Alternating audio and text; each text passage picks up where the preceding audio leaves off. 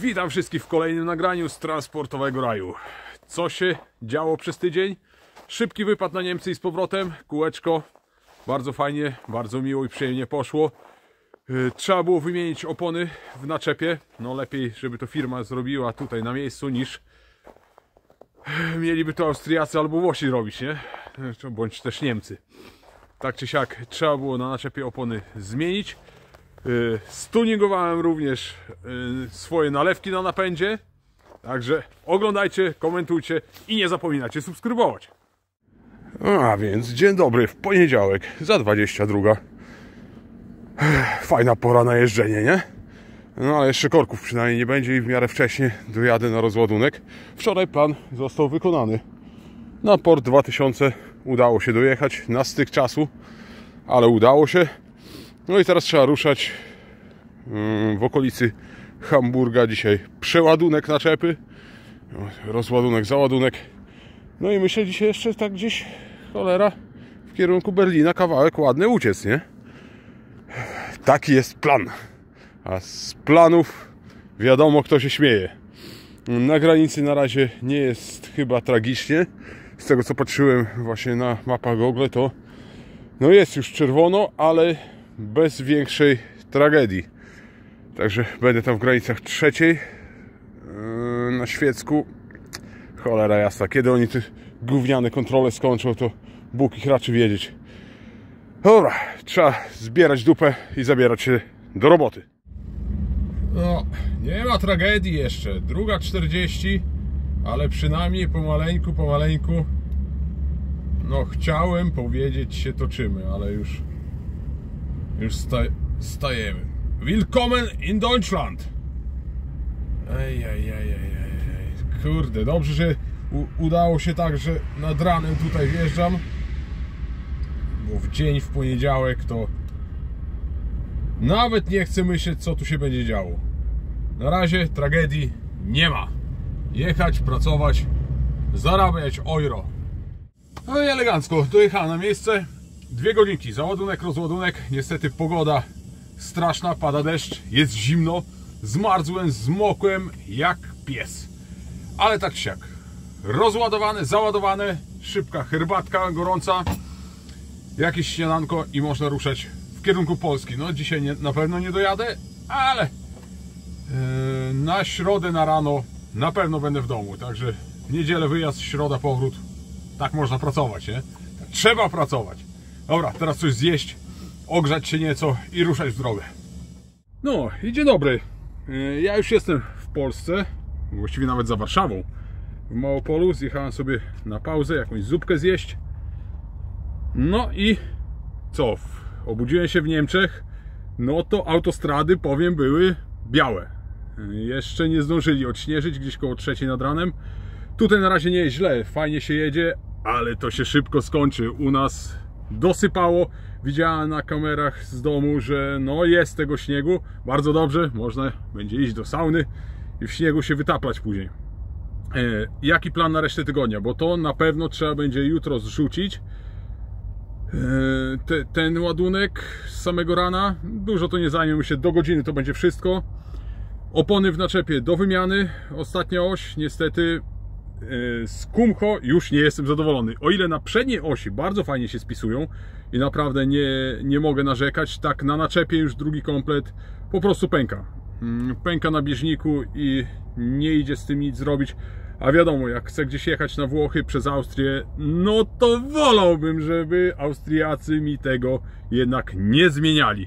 Zmienię sam. Zamówione już są prawdopodobnie w piątek. Chłopaki przyjadą to wymienić, bo przyjadą do mnie na plac i spokojnie, bez problemu pozmieniają i tyle. Bardziej mi się to opłaca niż y, na przyczepkę walić te opony i, i gonić z nimi na jakąś wymianę, sam kręcić, taplać się w tym śniegu. No nie, yy, naprawdę się nie opłaca i niech przyjadą, niech zmienią. Mm, Także na pewno będzie wymiana opon w naczepie na ostatniej osi. Yy, Cichaj tam. Yy, Będzie przegląd opon na osi ciągnącej. No i mam plan jeszcze na nie, delikatny, ale to później. A póki co trzeba iść zjeść zupkę, bo do końca tygodnia pracy mam o potąd, a nawet więcej troszkę. Także jak pojadę w trasę, to chyba właśnie tylko po to, żeby odpocząć. No ale dobra, jest robota, trzeba ją robić, zdrowie już pozwala, to najważniejsze, z uśmiechem na twarzy. Można i w taką, kurde, kiepską pogodę robić. Człowiek przynajmniej się zahartuje, a nie tylko ciepło i ciepło, nie? Dobra.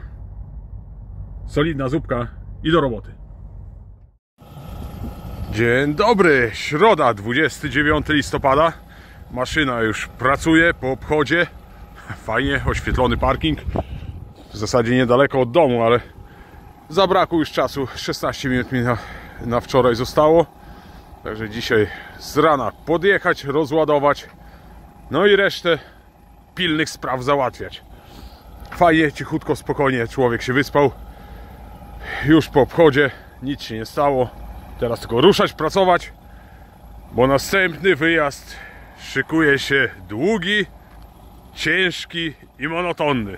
No ale najważniejsze, że są plany, że jest jakaś praca i trzeba ją robić, póki jest. No dobra, bestia dokarmiona. Do pełna, do podkorki pozalewane. Dzisiaj jeszcze muszę tylko AdBlue zamówić, co by do końca tygodnia dowieźli. I autko przygotowane do kolejnego wyjazdu. Gdzie, jak? No mam nadzieję, że wyjdą Włochy. Jeżeli nie, to z czymkolwiek tam się wydostanę, aby pod zachodnią granicę. I tam już sobie dam radę. Wyjechane, wyjechane. Kurczę, jakieś niebo się strasznie ciemne robi. Czyżby to śnieg miał dzisiaj 600 padać? metrów No trochę nie bardzo. U nas akurat nie odśnieżano. I o, tutaj fajnie czarna droga.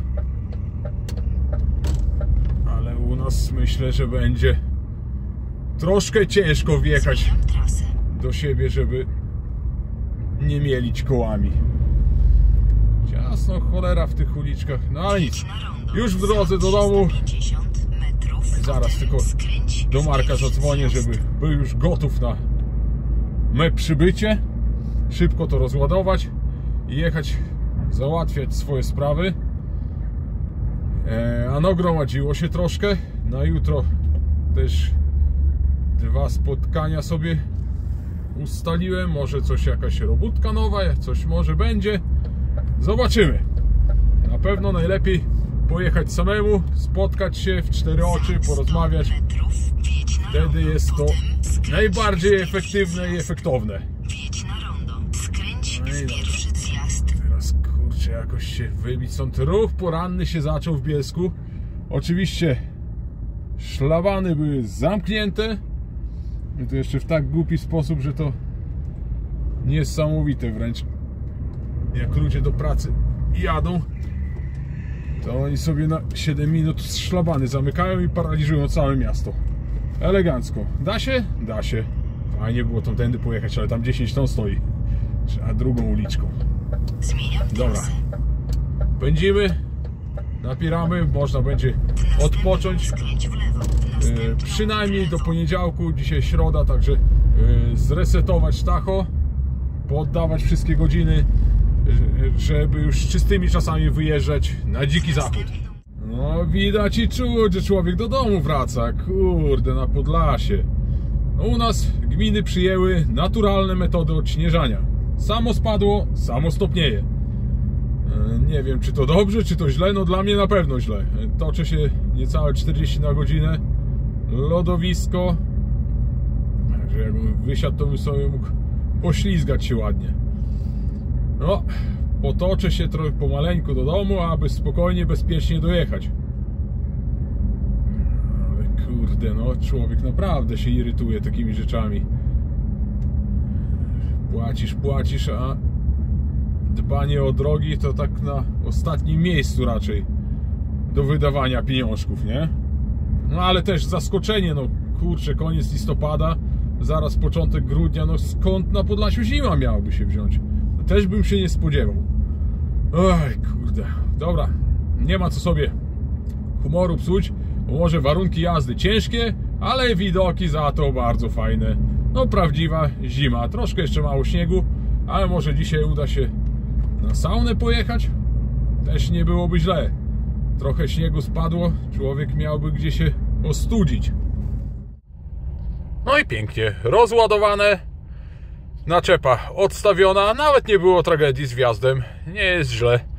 Piękna aura. Trzeba dopełnić teraz formalności. Krzyczy, żeby po, pobranie z karty zrobić. Zaraz szczytam kartę, biorę kwity, trzeba porządek z tym wszystkim robić, pisać fakturę. I na razie wolne. Na razie troszkę brak planu, bo za późno jest wyjazd. Nie wiem, czy będę aż ty- tyle czekał, tyle, tyle będę trzymał auto. No, zobaczymy jeszcze. No, kolejny mroźny dzionek, 30 listopada. Yy, Trzeba było się wybrać do Białegostoku. Zaraz wyjeżdżam. Paszport odebrałem. W końcu, dwa tygodnie temu już pisali do mnie SMS-a, że gotowy do odbioru. A dzisiaj dopiero się zebrałem.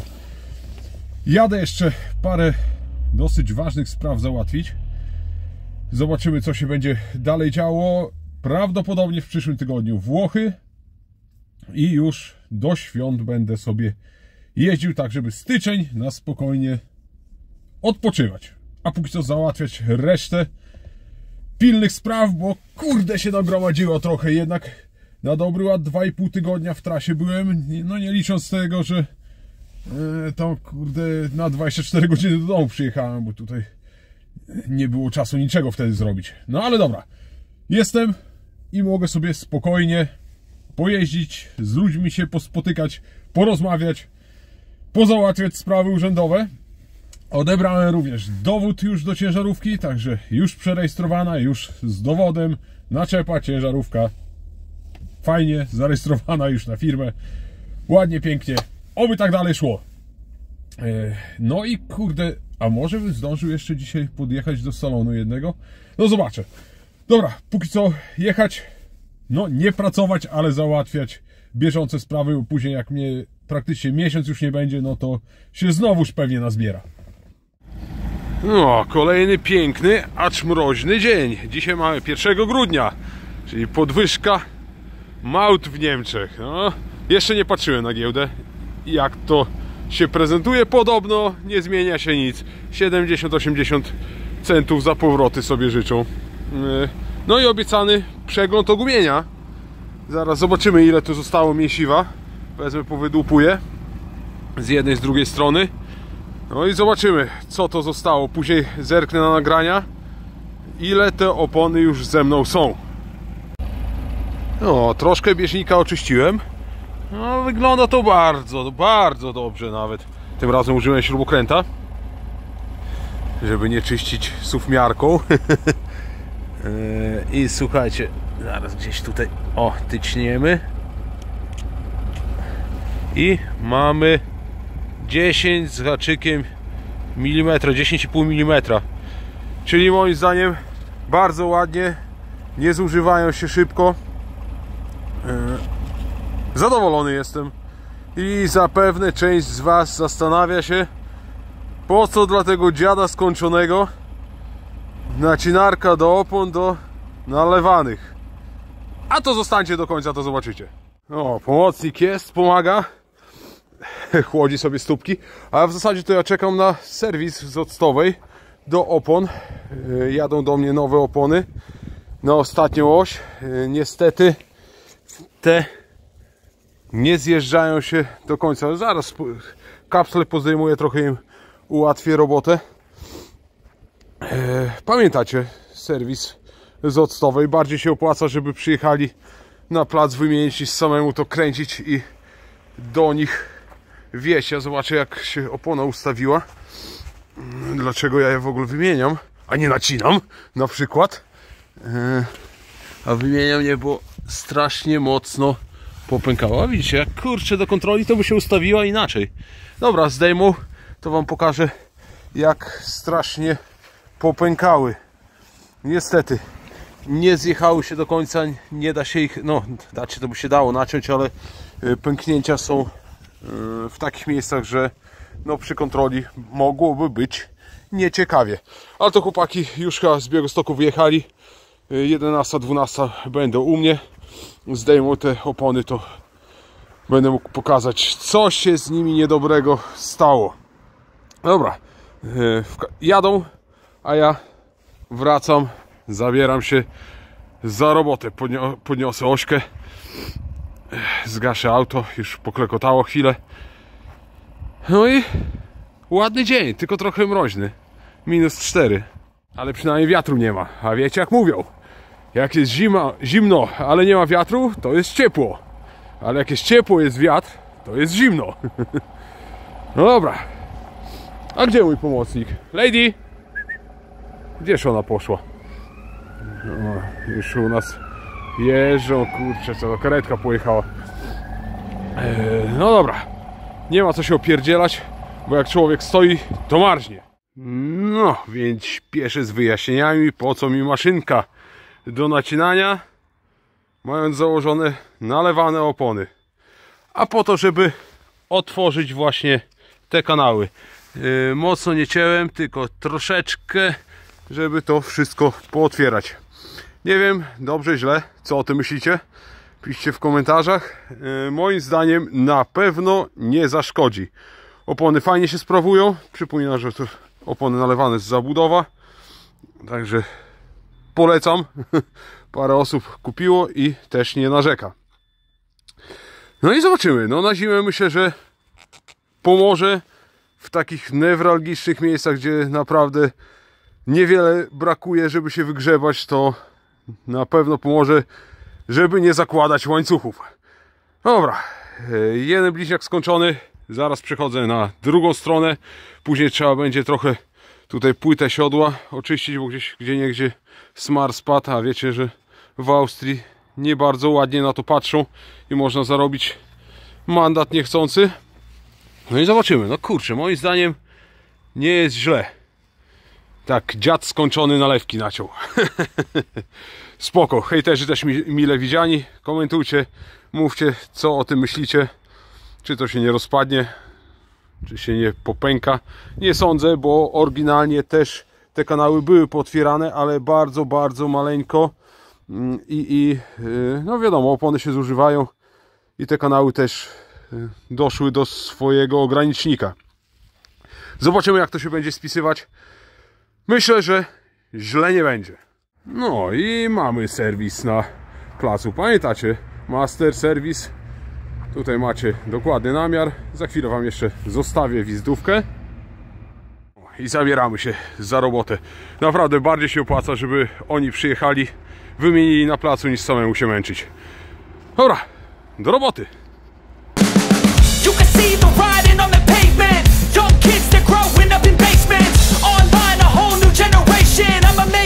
You can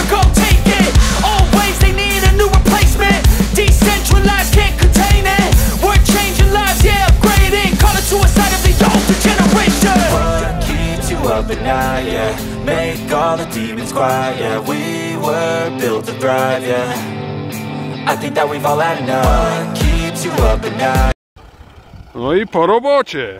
Elegancko. Kurczę, oponki. Super. Elegancko. Bardzo fajny serwis. E, Skutecznie.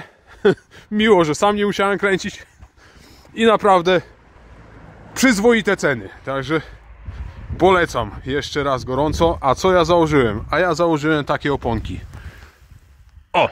I zobaczymy jak się będą sprawować. E, Co się stało z Kumcho. I to drugi komplet tak samo. Yy, kurczę, teraz śniegu w cholerę. Ajajajaj. O, słuchajcie, coś takiego się wyczyniło. A druga, druga, druga, druga. Co się z drugą stało? Gdzież to jest, kurczę? Gdzież to kurde się podziało? Yy, To się kurwa ustawia. O, tutaj jest. Zaraz ostrość wyłapiemy. Też pękła tutaj z boku. No niestety. E, One się, wiecie, że to kontroli ustawi, ustawią zawsze tym pęknięciem, że nie ma co się wygłupiać. No niestety nie zjeździły się do końca. Jeszcze troszkę mięska jest i można było naciąć. Ale niestety e, trzeba było zainwestować w nowe, świeże. Zobaczymy jak się będą sprawować. No bieżnik naprawdę fajny, przyzwoicie to wygląda. Zobaczymy jak długo pojeżdżą, e, a na wiosnę szerokie felgi, szerokie opony, też 55 naprzód pójdą. Już rozmawiałem jakie, jakie mają iść i prawdopodobnie jak wszystko dobrze pójdzie, no to chyba będą Yokohamy. Ale to jeszcze zobaczymy. Do wiosny jeszcze trochę czasu jest, bo będę musiał najpierw wziąć od nich felgi, bo też mają felgi e, bardzo dobrej jakości i najpierw pomalować oczywiście. No i dobra, ja zabieram się za nacinanie następnego bliźniaka. Kurczę, jak człowiek stoi, to zimno się robi. No a więc tak, skoro już jesteśmy przy temacie opon, to może wypadałoby wyrównać ciśnienia, sprawdzić chociaż, czy wszędzie jest dobrze. No ja sprawdziłem i z przodu mam za mało. Mam 7 bar z przodu, przynajmniej z lewej strony. Reszta opon do sprawdzenia, do weryfikacji, ewentualnie dopompować, popuścić powietrza, żeby jednak te opony miały jak najlepsze warunki pracy. Pomocnik jest, można pracować, mimo że jest zimno. No więc tak, ciśnienia posprawdzane i bardzo dobrze, bo w każdym jednym z kół, no oprócz tych oczywiście wymienionych świeżo, yy, troszkę brakowało i jeden wentyl do wymiany był, bo też przepuszcza powietrze. Także trzeba dbać o ciśnienie. Mam nadzieję, że odwdzięczy się długą żywotnością opon. A w następnym nagraniu będę chciał podnieść kabinę i sprawdzić ten filtr, yy, który jest w pompce ręcznej sitko takie, bo parę razy zatankowałem u naszego monopolisty, no i chciałbym zobaczyć, czy żadnego żuru tam nie, nie wlałem niechcący do zbiornika, bo jakoś tak jakby kurczę o pół obrotu dłużej kręci już zanim odpali, no ale to w następnym nagraniu przekonamy się, czy tam jest czysto, czy jednak coś się zasyfiło. A więc tak, na to nagranie wystarczy. Dzięki wszystkim, którzy dotrwali do końca. Dzięki za wszystkie subskrypcje, komentarze. Ci, którzy tego nie robią, to niech zaczną.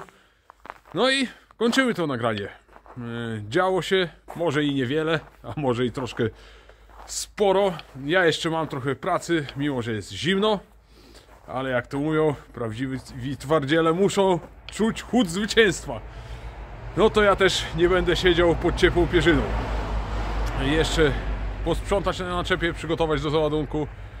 No i Dzięki wszystkim jeszcze raz. Do następnego. Trzymajcie się. Cześć.